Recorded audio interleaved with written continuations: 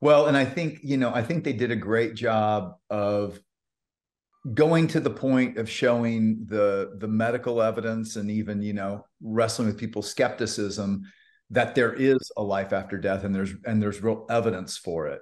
Um, you know, it didn't go as far as my books do, um, you know, which is to help people understand the hope of heaven and especially who this God is that all these near death experiencers are are encountering all around the world.